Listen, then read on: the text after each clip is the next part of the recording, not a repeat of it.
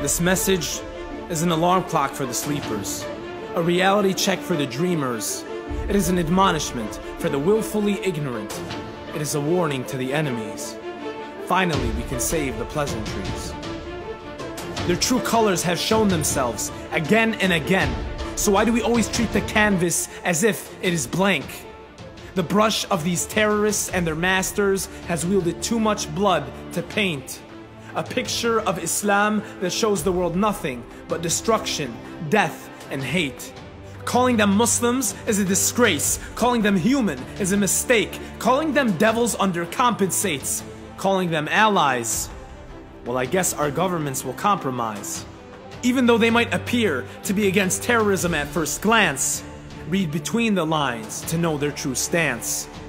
How can you be allies with a country that runs an apartheid state, who doesn't let medicine, food, or humanitarian aid through its gates?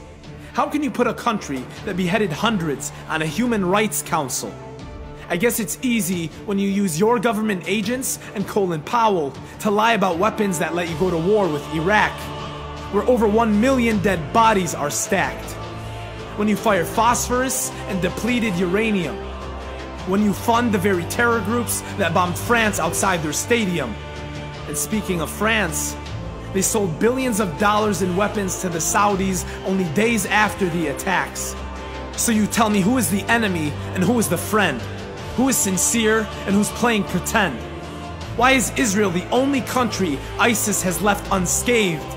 Why were their fighters allowed through their barricades? To be treated in Israeli hospitals as Netanyahu by their bedside stayed? Why when Gaza was burned to the ground, not a stone was thrown Tel Aviv's way? But when a Saudi embassy was burned in Iran, every Arab country had something to say. But we know the drill. We are the Shia of Ali. We know what it's like to prefer the truth over money. We know that the flavor of death in the way of justice is sweeter than honey. And Sheikh Nimr's lips savored this taste.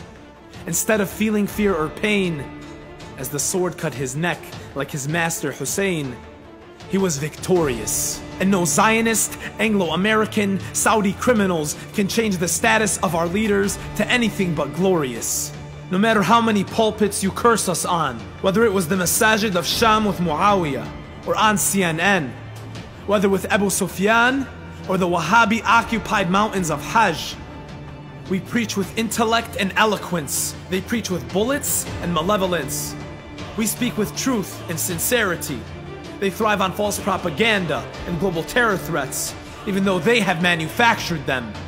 But let them know that truth will prevail and falsehood will perish, that the righteous will be victorious and criminals will vanish.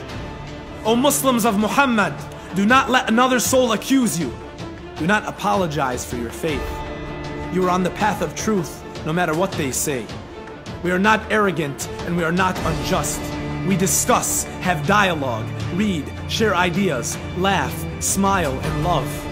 But only with the true and honest ones. But those who play games, who claim to free the world they currently enslave, I ask them to remember our names. We're Sheikh Nimr of Hijaz. We're Sheikh Zakzaki of Nigeria. We're Sheikh Muhammad Bouti of Syria. We're Muhammad Baqir al-Sadr of Iraq. We're Musa al-Sadr of Lebanon. We're Mutahari of Iran. We're the Muslims of Muhammad. We're the lions of Ali. We are the progeny of Fatima. We are the redeemers of Hassan. We are the companions of Hussein. But this time, the result won't be the same. For what happened to him won't be repeated. O people of the world, know you have been cheated. The politicians with suits and ties are the ones responsible for the terrorists claiming our demise. The Saudis and the Gulf fund them with American Israeli training. They are let in through Turkey, Jordan, and others, and the rest is taken care of through intelligence agents. ISIS is manufactured like Al Qaeda was before them? What will it take for you to connect the dots? So let's take it from the top. The Middle East falling under Western control is the only way they will ever stop. Unless we stand against them first. The way the Ahl al-Bayt stood up against Ibn Ziyad. And no unshakable are those who put their trust in God. So know that Israel and the house of Saud are like the home of an insect weaker than the spider's web, web. But we are the unbreakable, unshakable, unstoppable, no matter how many of our scholars and warriors they behead. Our mother watched them do this to her brother Hussein as he fell dead, and she taught us to never fear you, or anyone else, through the words to Yazid she said, we only submit to the Lord who revealed his book and the soul of her grandfather Muhammad, and you will never intimidate the children of Sayyida Zainab, Zainab.